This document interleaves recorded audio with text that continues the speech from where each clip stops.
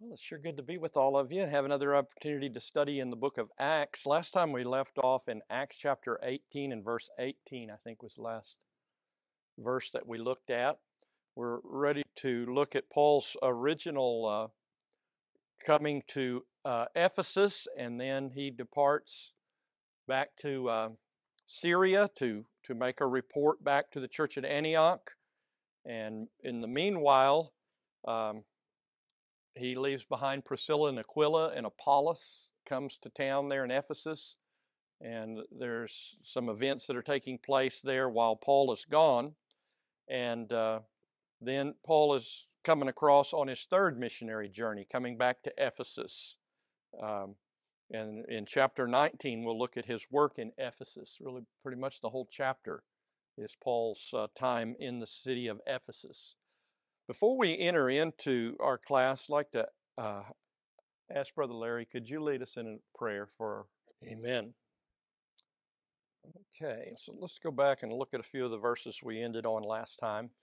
Uh, Paul left uh, the city of Corinth, and then verse 18 Paul, having remained many days longer, took leave of the brethren and put out to sea for Syria, and with him were Priscilla and Aquila. In Cenchrea, he had his hair cut, for he was keeping a vow. So Paul goes from ancient Corinth there down to Cenchrea, the, the coastal city there on the Aegean Sea, uh, and sails from there to go back to Syria so it's sometime between the time of Passover, probably, and the time of Pentecost, sometime in the middle of April or sometime, he takes off here. And he sails across the Aegean Sea and uh, comes to the main city in Asia Minor, which is Ephesus. And that's going to be sort of the center of Paul's activity. It really kind of takes over for um, Antioch. You know, all the missionary journeys came out of Antioch. But in the latter part of Paul's life, it sort of centers around Ephesus.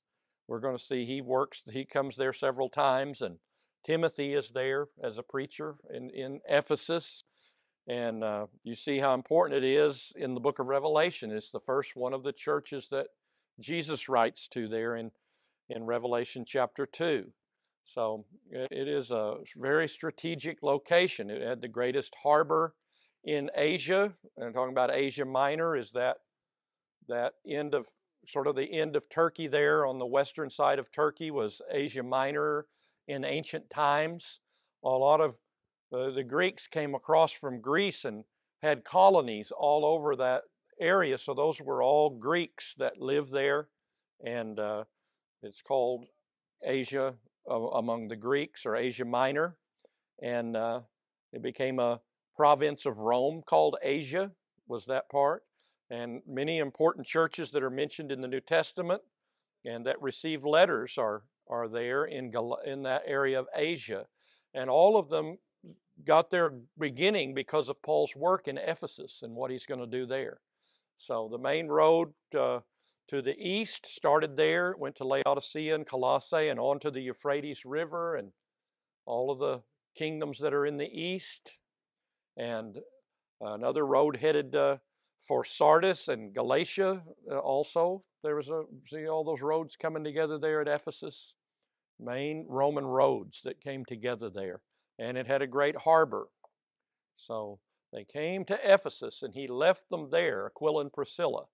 They, I guess, set up their tent making business there in town and they started working in the synagogue and started laying a foundation for converting people to the gospel. And uh, now he himself entered the synagogue and reasoned with the Jews. So Paul, according to his custom, started evangelizing among the Jews first. That's what the Lord told him to do.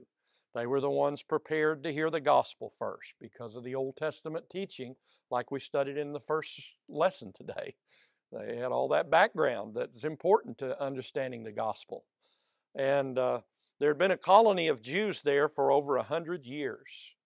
Uh, so a large Jewish presence was there in Ephesus. So I guess big synagogue was there in that place. Uh, ancient people liked having the Jews come in because they were, you know, they, they worked with all, of they all trained their children in these different skills that you need, whether it was a blacksmith or a tent maker or all of these different skills that you need in any town to be able to do all of the handiwork that needs to get done. The Jews had their children trained in all those things. And in, they, they were in finance too and, and, and loaning money and stuff. So they, uh, they were people you needed if you wanted to get a community up and running, you know, was have a group of Jews that were there. So they had been there in Ephesus and been there for a long time. Um, and he reasoned. He was preaching just uh, not just on one time, but uh, he kept reasoning with them for the few weeks, I guess, that he was able to be there. He preached one time on this occasion in the aorist tense there that he reasoned this time. He's gonna he's determined to go to Syria, so he doesn't stick around. he leaves, but we're going to see they want him to stay. They want him to come back, and he does come back. He's going to spend over two over two years there. Um, and when they asked him to stay for a longer time, he did not consent. So he got a good reception for his first lesson, I guess, there in the synagogue. But he's determined uh, it's time to go back um, and report to the church in Syria and in Antioch. But it's a good sign, you know, that they would ask him to stay, right? That's certainly better than the alternative that they say, well, we should come back and study with us again. So uh, there are going to be some successful work done while Paul is gone. But taking leave of them and saying, I will return to you again if God wills, he set sail from Ephesus. And we know he goes from Ephesus there on the map. You can see he sails, the next place mentioned is Caesarea on the coast of Palestine. And he went up and greeted the church we're going to read, which seems to be Jerusalem. You always talk about going up to Jerusalem. And maybe with that vow that he took, there was some ceremony he needed to go through at the temple. So he he evidently went to Jerusalem and then he goes up to Antioch. And then not too long he stay he stays there for some time, but then he makes his third journey starts. He gets back to Ephesus. So again, he says if the Lord wills, if God wills, I'll return. So, isn't that exactly what James teaches in the book of James? You shouldn't say, oh, I'm going to go to this city and I'm going to trade and I'm going to do this and that, and not say, if the Lord wills, I'll do this or that. We always recognize God's in charge over our lives, that we're not the final arbitrator on what we're going to do in the future. We don't know whether tomorrow's going to even be here for us, right? So we always acknowledge God in all of our all of our planning if the Lord wills, we will live and we will do this or that. And so there's perfect harmony in these New Testament books.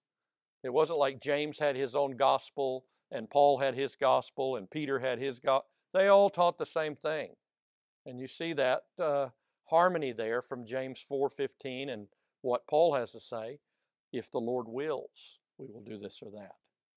And Paul says that on a number of occasions. So does the Hebrew writer, which was, I think, was probably Paul, but uh, again, it's mentioned in that book too.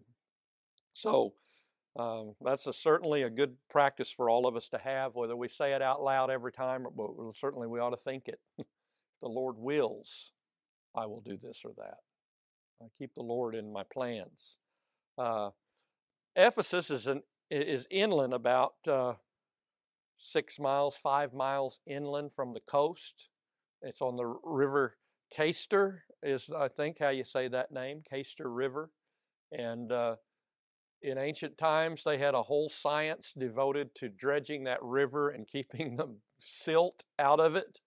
Today, if you go to Ephesus, it's seven miles from the coast, and all of that river silted over, and the harbor is gone. It's just a marsh that's left and the city disappeared from history because it wasn't once they quit uh, dredging that river out it, it wasn't any good for a harbor anymore so you see what happens when civilization the empire falls and the, they don't take care of stuff anymore and all the aqueduct and the harbors and all of that don't get taken care of changes everything doesn't it if, if, if you you know our forefathers dug all of these canals and things that we've got. And if we got people now that won't spend the money to keep them up, what's going to happen? They're all going to fall apart. All our highways, our bridges, everything. So you got to keep it going, or it'll it won't work anymore. And that's what happened to Ephesus. We'll come back and look in more detail when Paul comes back to Ephesus. So we'll look at the city and how it's laid out and when he really starts his work there. Uh, any other thoughts on any of the stuff up to here comes to mind? In verse 22, it says, And when he had landed at Caesarea, he went up and greeted the church and went down to Antioch. So there's some dispute, you know, among different uh, brethren and scholars about did he just go up and greet the church at Caesarea or did he go up to Jerusalem? Of course, in some of the manuscripts, like that the King James is based on, it gives you the idea even clearer that he went to Jerusalem. But um, even if that pass that that is uh, not the best reading, it's still just going up seems to talk about Jerusalem. It was up there in the top of a mountain, Mount Zion, and that, that's where you went. And then you go down from there to Antioch. It doesn't really fit with Caesarea going up and down that part. They're kind of the same. Um, so Luke's language, it seems to talk about elevated Jerusalem there. And he greeted them, expressed his affection for them, and uh, that had been his fourth visit to Jerusalem when he went up there. And traveled back down to Antioch and reported to the church all about his work, just like he did on the first journey. Now, the second journey, look at all the stories that we've studied about all that Paul did in in uh, Philippi and Thessalonica and Athens and what he did at Corinth. He could he tell all the brethren all about those days and the converts that were made and how God worked with him and the vision the Lord gave him and all of those things would have been talked about among the brethren and would have strengthened the brethren. There's a wide door of opportunity for faith among the Gentiles that had been opened up to him. So that's the end of the of the second missionary journey when he gets back to Antioch. It went from 51 AD to 54. Paul's going to spend some time there in Antioch, and then he takes off on his third missionary journey. Uh, that'll be the rest of the book of Acts up until we get to chapter 20. Um, then he gets arrested in Jerusalem in chapter 21, 22, and he'll be imprisoned there in Palestine for a while and then go to Rome.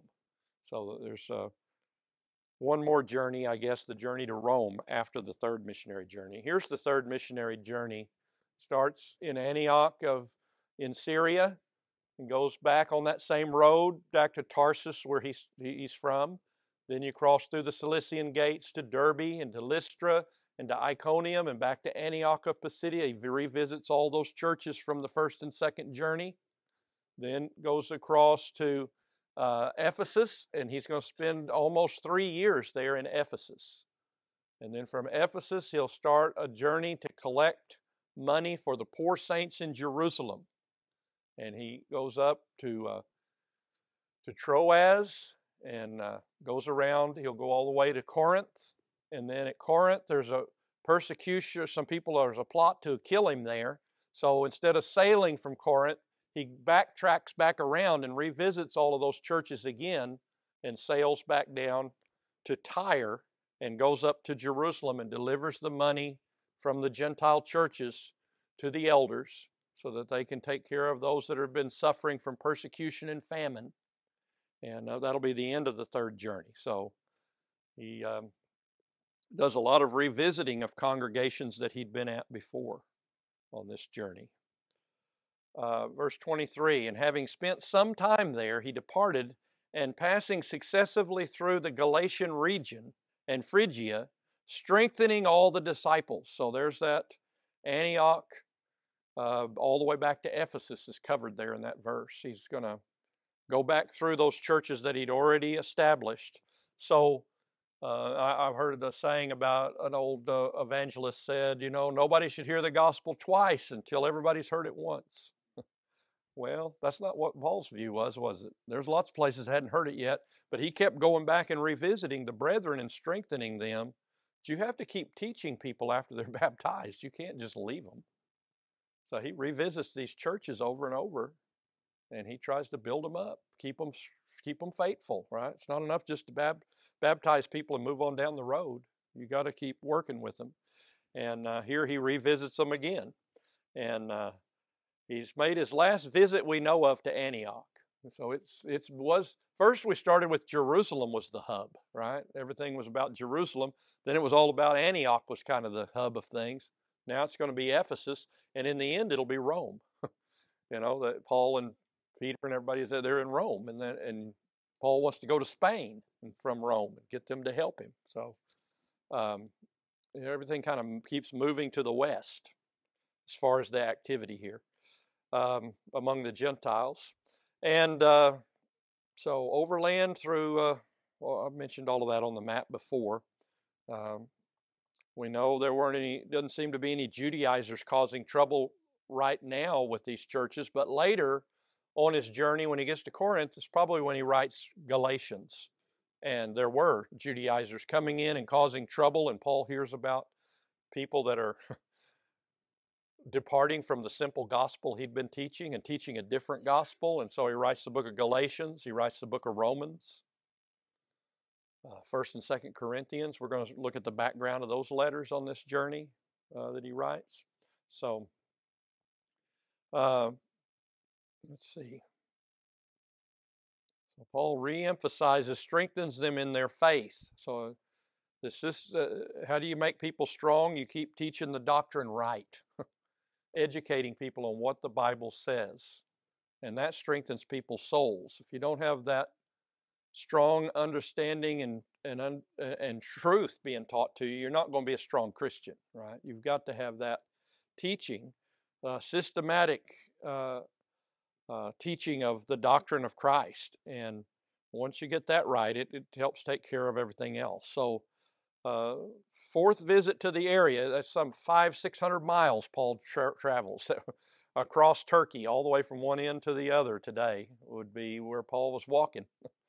he walks all the way back across and comes back to Ephesus. Meanwhile, in Ephesus, while Paul was gone, we're told about what happened. So Luke kind of, uh, you know, we got another little episode in our story here where we go back to Ephesus. Now, a certain Jew named Apollos, an Alexandrian by birth, an eloquent man, came to Ephesus, and he was mighty in the scriptures. So while Paul was gone and Aquila and Priscilla were working there, Apollos shows up, and he is somebody that is very impressive.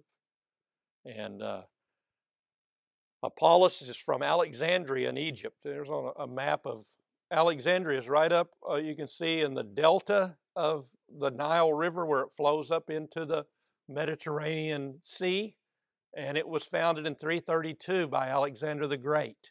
It's, he loved to name cities after himself. He has Alexandrias all over the place, but this is the big Alexandria that everybody knows is Alexandria in Egypt because it had a lasting. Uh, uh, it was a great city that he founded there, and of course, it's known for the great library that was built there, the greatest library in the world and they wanted a copy of the scriptures there, and they translated the Old Testament into Greek in Alexandria. So that's where the 70, the Septuagint, was made. That all the Christians had the Septuagint that, that were, you know, uh, weren't Jewish or weren't Hebrews. They read that uh, that Greek Old Testament.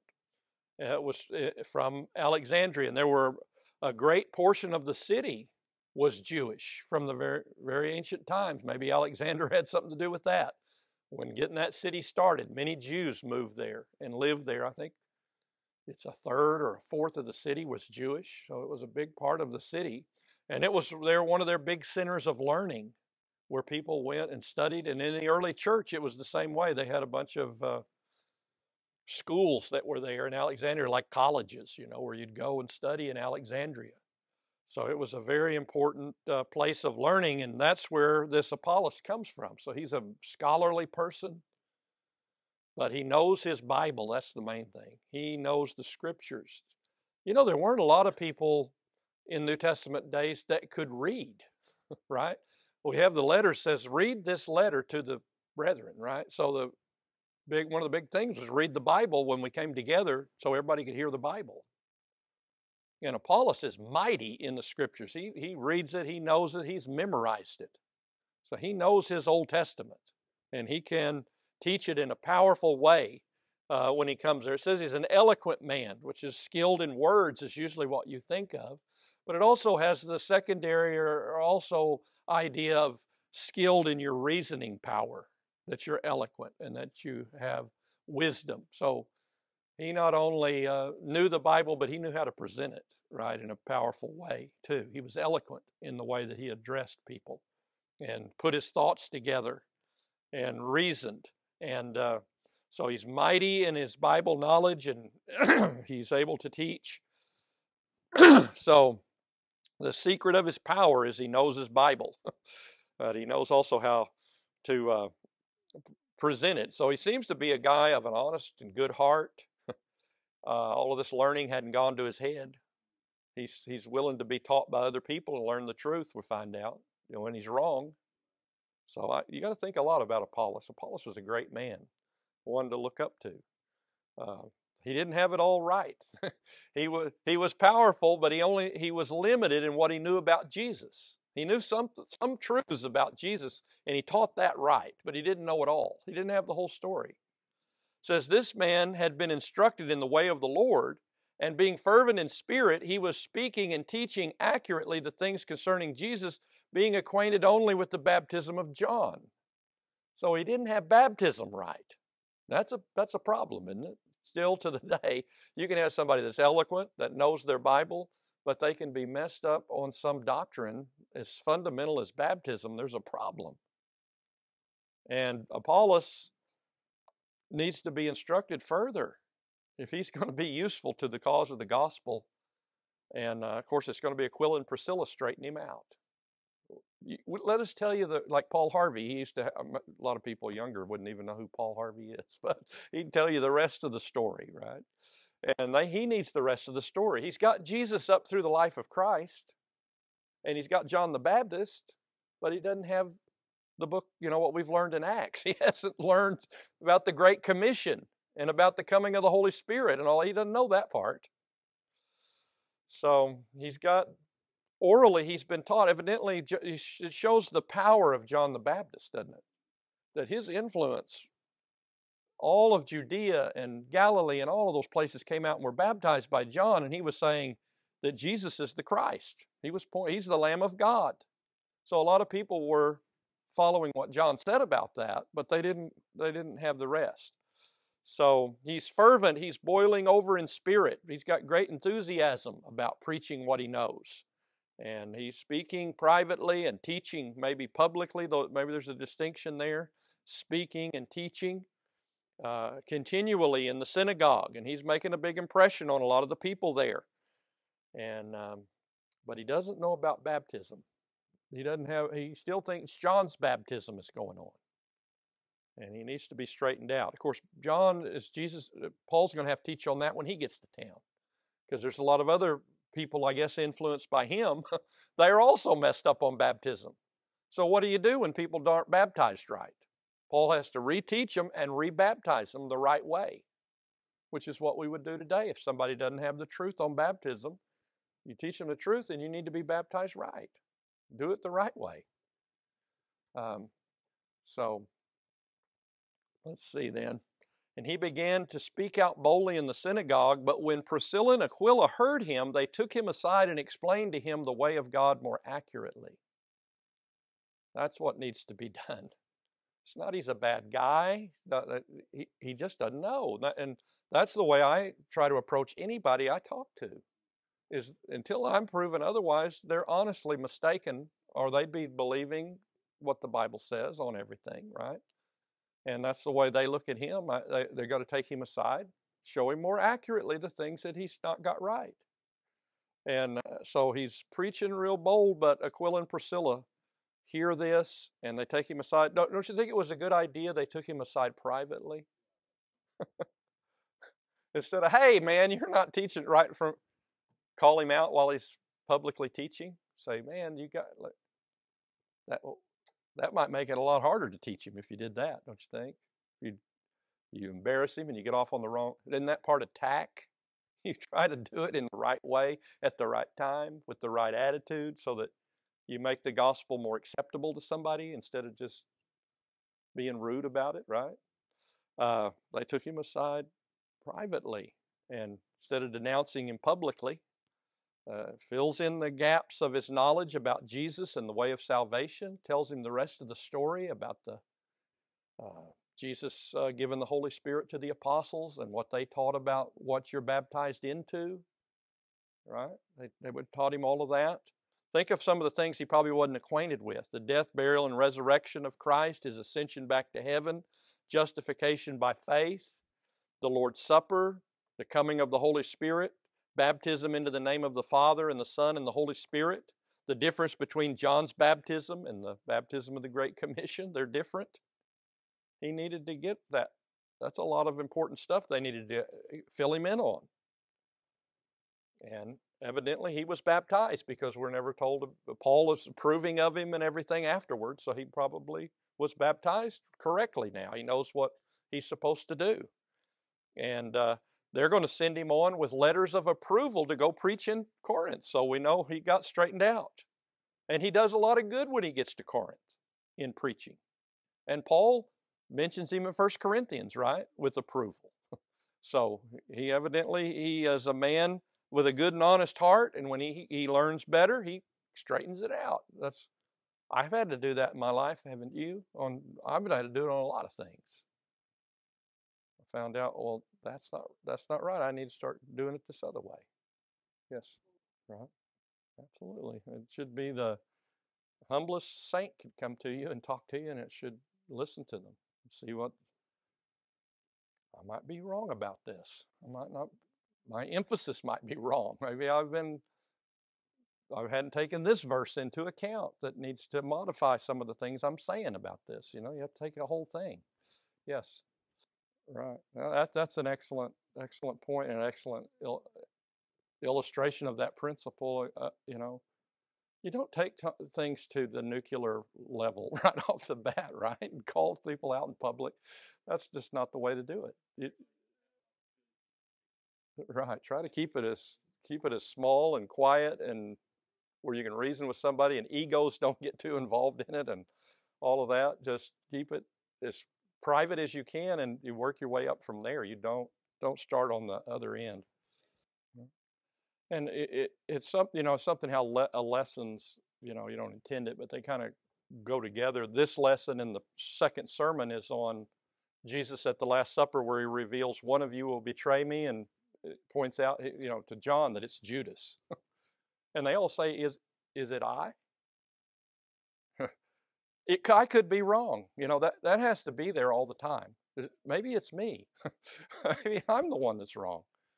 Some people, that it, that's not a possibility, and you're not going to be able to help a person like that. But if, if we're all going, maybe I'm wrong on this, let's, let's study this, you got a chance, you know, then. And Apollos was open to it. He was open to hearing what they had to say. Some people aren't, and we don't, we don't want to fall in that camp. Um, you have here a, a, woman teaching a man too. You have Aquila and Priscilla, or Priscilla and Aquila teaching him, and um, shows in that uh, when it talks about that a woman's not to teach with authority over a man, it's in a public way. It's not talking about private Bible study with somebody. That's a different situation. And um, let's see, verse 27. Apollos then goes from there to Corinth after this happens and says, When he uh, wanted to go across to Achaia, the brethren encouraged him and wrote to the disciples to welcome him. And when he had arrived, uh, he helped greatly those who had believed through grace. so Apollos did a great work in Corinth when he got there. He gets all of his ducks in a row. He gets the doctrine right now. He's still got the zeal. He's still powerful in the scriptures he goes over to work with the church at Corinth, and they send a letter. You know, see this letter of recommendation thing? The brethren write and say, Apollos is a good guy. Notice there's some disciples. So there is a church now. Before it was just Paul, Aquila, and Priscilla that we knew about, and he was teaching in the synagogue that one time. But now there's some, though there have been some converts. since Paul's been gone. There's already a congregation there. It might just been a handful, but you know they've got some brethren to write a letter over there and ask say something about it. So it seems like there is a small group that are meeting there uh, already before Paul gets back, and uh, Apollos does a great work because he helps them. Uh, I guess the next verse will tell us, you know, about how he how he helped them. Evidently, they, were having trouble still with the Jewish synagogue and the teaching of the Jews and opposing the gospel. And when Apollos gets there, he's powerful in the scriptures and he's able to refute them in debate. And so that helps the church. I mean, it knocks down this opposition that they're getting there in Corinth. And uh, they were helped those greatly who had believed through grace. That's how all of us have believed, isn't it? God's grace is all of those things that He has done through His favor for us. He, he sent Jesus, He sent the New Testament, He gave us the Word, He gave us the church, and people in the church taught us the gospel. So, through God's grace, all of those gifts that God has given, we've come to believe, right? And uh, it's not some you got zapped, but God's grace is all of the things He does to give us blessings and uh, give us the word and so on. And they believed by all that confirmed evidence that the gospel's true. Uh, for he powerfully refuted the Jews in public demonstrating by the scriptures that Jesus was the Christ. So you see, there's still a they they were opposed to Paul when he was there, and it didn't stop after Paul left. They were still troubling the church, and this doctrinal stuff was going on that they were saying Jesus isn't the Christ, that he didn't fulfill those Old Testament passages. And when Apollos gets there with all of his learning, he debates them even publicly and he shows these Old Testament prophecies apply to Jesus of Nazareth, that Jesus is the Christ. And he was able to uh, hold up that proposition that Jesus of Nazareth is the Christ that they should believe in. He's the Messiah that was to come. And uh, he went to Corinth and that worked there probably about 54 AD when Paul sets out from Syria. And then Paul comes to Ephesus for over two years. Another passage he says three years, so two years and a half or something. You know, you could say it either way. Either way is true. He was there two years or three years, according to how you want to break down the months. Uh, don't we round up and down all the time? We do the same thing when we talk about something. And uh, the uh, Apollos then returns and preaches in the vicinity of Ephesus later on, and uh, he's mentioned in 1 Corinthians 16 12. And towards the close of Paul's ministry, you get your last glimpse of him in Titus 3:13. So he was still being faithful at the very end of the New Testament or Paul's life when he was writing those last letters. Okay, he and Zenas the lawyer were together on some missionary journey there in Titus 3:13. So he's still preaching. All right, well, Lord willing, we'll come back and look at Paul's work in Ephesus next time.